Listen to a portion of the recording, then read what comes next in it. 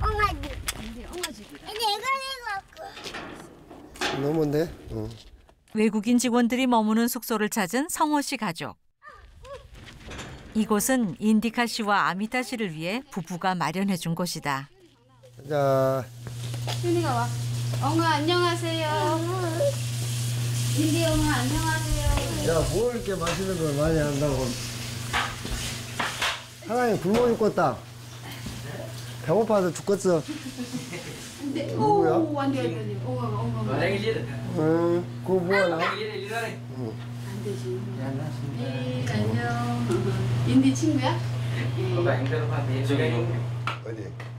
집에서만큼은 먹는 것도 차림새도 고향에서의 모습 그대로인 직원들. 아미야, 너네 그거 거기서는 남자들 다 이렇게 입지. 그래, 얘네들은 이게 전통 의상.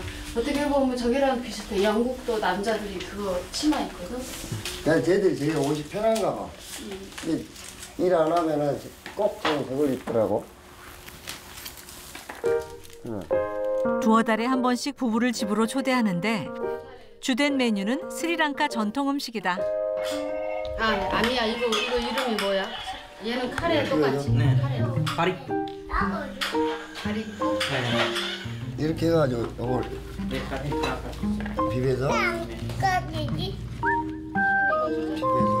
스리랑카식 볶음밥에 카레 요리를 얹어 한 입 맛보는 성호 씨. 제법 입에 맞는가 보다. 이거? 아니 옛날에보다 훨씬 맛있어. 옛날에 매웠어. 얘들이 그러니까 자기들은 맵고 짜게 먹는데 오늘 안 맵게 하는 우리만 거야. 한 고춧가루, 고춧가루 이러면 하나 넣- 넣으면 오늘 반절만 넣었어. 응. 우리 입맛에 맞게끔 한 거야. 네. 먹어라. 음식을 나누고 정을 나누면 식구가 된다 하지 않던가.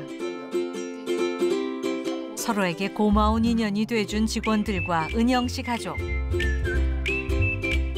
하지만 떠나온 것에 대한 사무치는 그리움은 어쩔 수 없다. 음, 가족 사진이구나.